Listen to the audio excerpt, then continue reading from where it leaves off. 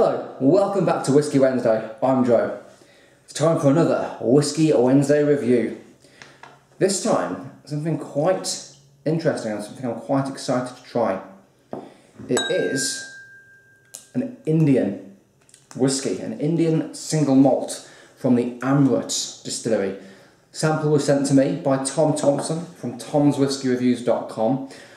Be sure to check that site out. If you like your whiskey reviews, if you like my reviews, check out his website. Not only reviews, but he posts news about whiskey, industry links, industry kind of what's going on, lots of fun information, and it's a really nice, nicely laid out site as well. I will put a link to his site in the description below as well. So please be sure, he's a really nice guy. So this is an Indian single malt. So you might be surprised to hear that Indians make whiskey, but they actually they drink more whiskey than anyone else on the planet. But a lot of their whiskey couldn't be sold legally as whiskey in Scotland because it's actually made from molasses and not barley, water, and yeast. But Amrut started the trend and made a single malt. So essentially, this has got exactly the same ingredients as a Scottish single malt whiskey. Whiskey matures a lot faster in India, which is a really important thing to know. Obviously, it's a lot hotter climate, and when it's hotter, the spirit absorbs a lot more flavour from the wood a lot quicker. So you don't think you're ever going to see a 10, 12, 15, 18 year old Indian whiskey because if it was to sit that long in the barrel in that heat in India, it'd just be over oak and absorb way, way too much flavour but it doesn't mean it's going to be a bad whiskey. You can get some incredible young whiskies. Now, before I start this whiskey review, it's the old style bottling. This is a sample from, so you actually can't get the this particular bottle of Amrut. The new style is going to be slightly more refined, probably slightly, slightly more developed as a result. But it's really interesting to try. I'd love to try this whiskey and then try the current bottling. It's bottled at 40%. Let's give it a nose.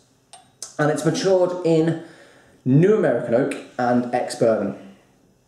Lovely kind of, just kind of classic kind of golden colour. Let's give it a nose. Now immediately, there's a lot of green fruit going on.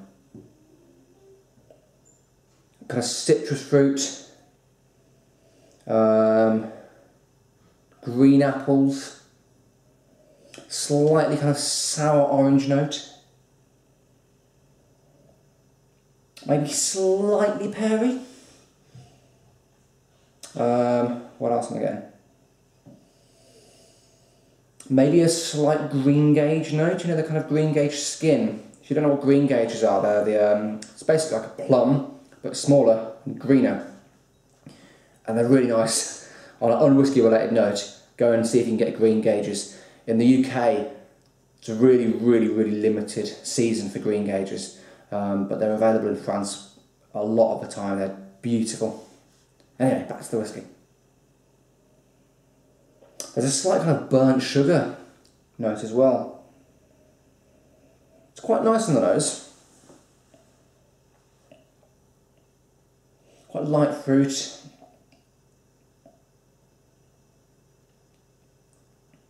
Burnt sugar maybe. Does, does anyone know the, the jaggery? You get stuff called jaggery, which is kind of almost like a, a block of sugar that you can use for cooking. You kind of break chunks off. It literally comes in a huge cone. Kind of reminds me of that. I had it years and years ago when I was a child.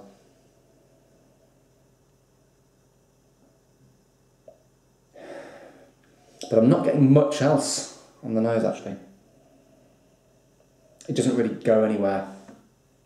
Right, let's give it a taste.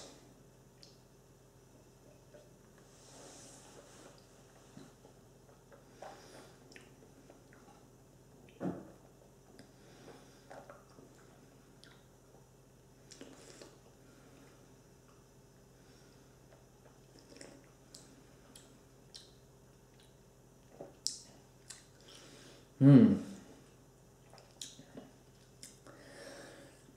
Hmm. Well, it's not. It's not subtle on the palate. I can tell you that. Um, hmm. Slightly metallic. Heavily, heavily burnt nuts. Hmm. Slightly kind of almost. It's almost kind of a rusty, like rusty metal note to it. Hmm. Not really keen on the palate, I'm afraid. Uh, let's give it another taste.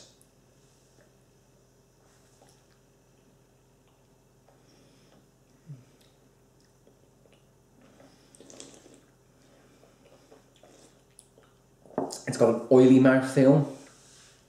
It's quite sharp. It's quite kind of acidic. Mm, I'm really not a fan of the palate. It's almost just, it's too sharp. And I know it sounds silly, but a lot of people, when they drink whiskey, they say, oh, it gives you a burn. Well, this does, it gives you kind of a, has got that kind of sharp, burning, rusty metal quality to it. Hmm. That's a shame. I was really looking forward to that. And as I say, this is the old style bottling, so it's not available anymore. So I'm going to have to seek out the new one. Let's give it one more taste to see if it uh, kind of redeems itself.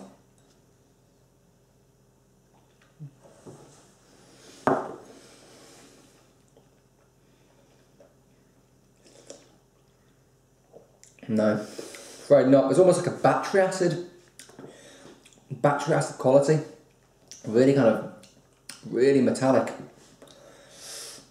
Not a fan, not a fan. It kind of promised a little bit on the nose, but then it goes so far down in my opinion of it on the palate. Oh, that's a real shame. Gonna have to seek out the new bottle, see if it's any better, see if it's any more developed. Uh, I'm gonna give this a 4 out of 10. Have to say, I think it's my lowest score so far. Yeah, not a fan. Kind of promised a little bit more on the nose than it does on the palate. Yeah, 4 out of 10 for the old style Amrut single malt at 40%. Please let me know if you've tried this bottling and you enjoyed it. Please let me know. Please comment in the boxes below or just have it send me a tweet. I'll put my Twitter and Facebook links in the description. I'd love to know your thoughts as well. And cheers again to Tom Thompson for sending me the sample. See you next week, guys. Cheers.